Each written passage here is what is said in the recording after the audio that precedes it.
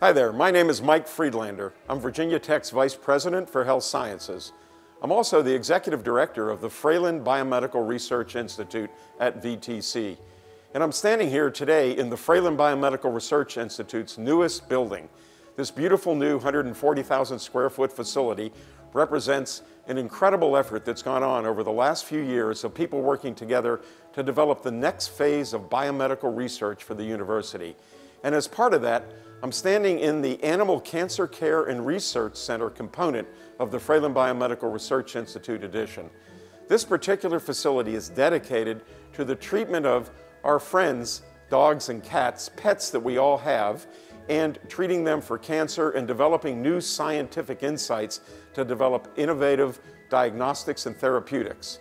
The really important part of this operation is that while treating our animals, our animal friends that we all have in our homes that share the same space with us, breathe the same air, drink the same water, often eat the same food, we are developing ways to get new insights into cancer and how it affects all of us, human beings, dogs, and cats. And by having in this building facilities that are the most current state of the art for imaging, molecular diagnostics, genetic analysis, etc., we bring together investigators working on human cancer and those working on cancer in our animal friends as well. So the Animal Cancer Care and Research Center represents a confluence of thought and technology, bringing together the best of researchers across many areas to work together to solve common problems that affect all of us. This is indicative of Virginia Tech's way of really leading the change in biomedical health sciences and research so that we can deliver improved care to people and animals.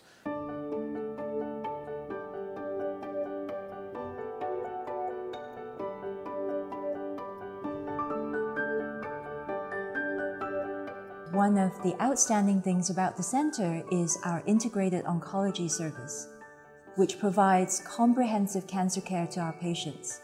We have radiation oncology facilities as well as surgical oncology capabilities and medical oncologists who work hand in hand to provide the absolute top quality care for our patients and clients.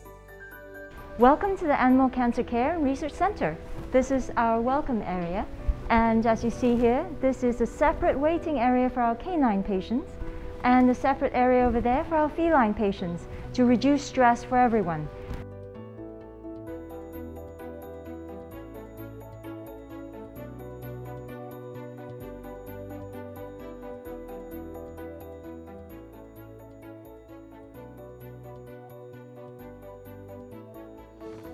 These are our three state-of-the-art operating suites and the middle one here has a double bay.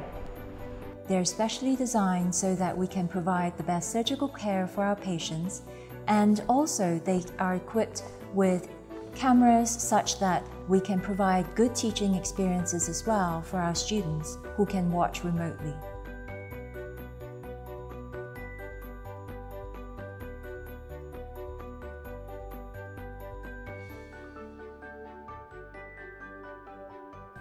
Part of dealing with cancer, whether you want to prevent it, diagnose it, manage it, cure it, uh, has to do with solving problems that we haven't been able to solve before, people have not been able to solve before. So we need to be able to be in a facility that we can try new methods for diagnosing and screening animals for cancer, new methods of treating cancer, and hopefully monitoring that to make sure that our treatment worked. And essentially, this is the research that we're trying to do.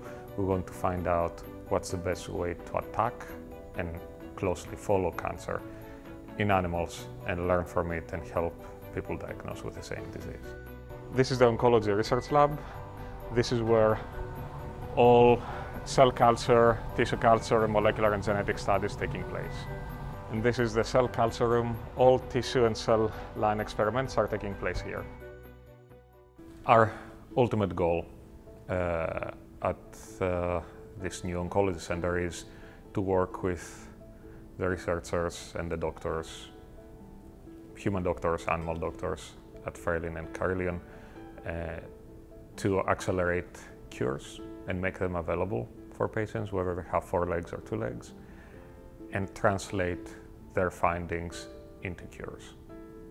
So patients who come to our cancer center will be able to receive a, a wide array of diagnostics and treatment, including cross-sectional imaging with CT, uh, eventually MRI, radiology, ultrasound, uh, any kind of blood work that we need to run, cytology, so full service diagnostic capabilities, as well as full service treatment as well. So it really is a one-stop shop for clients uh, to receive comprehensive cancer care. This is our Linear Accelerator, and we're extremely excited about having the ability to offer radiation oncology services to our patients. Radiation oncology is an integral part of oncology care, and it is one of its kind in the region, and we're very excited to be able to offer such comprehensive cancer care to all our patients. Our new chemotherapy suite is USP 800 compliant, which is a national regulation on stringent safety standards.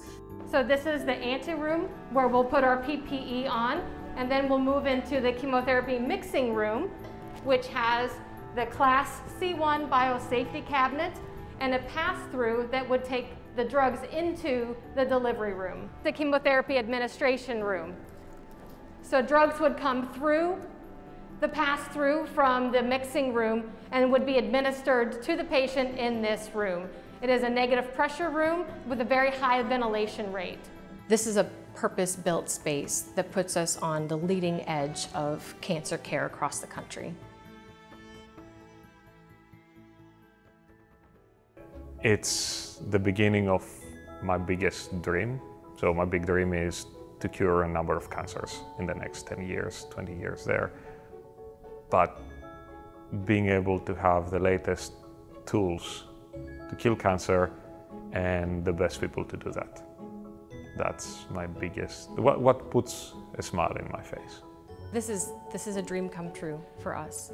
Uh, eight years ago, if you had said we would be doing this in Roanoke with a linear accelerator, uh, I wouldn't have believed you, and I still don't believe it. I'm extremely excited about this venture. It is certainly one of the major things that have attracted me to Virginia Tech the idea of having an integrated oncology service that also has very close partnerships with our human medical colleagues is supremely exciting. And I think that together we can all work in, to provide not only the best cancer care, but to also advance cancer research so that we can hopefully provide cures down the road for our patients as well as patients in the human medical field.